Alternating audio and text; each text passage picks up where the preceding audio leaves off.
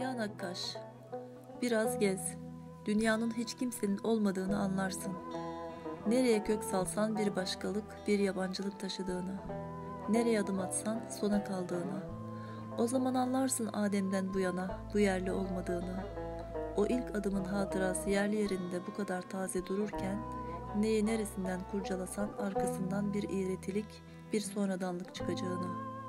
Mülkün gerçek sahibi bu kadar zahirken, toprak üzerinde kimsenin kimseye öncelik hakkı bulunmadığını, sadece bazılarının biraz erken geldiğini, bazılarınınsa biraz geç kaldığını.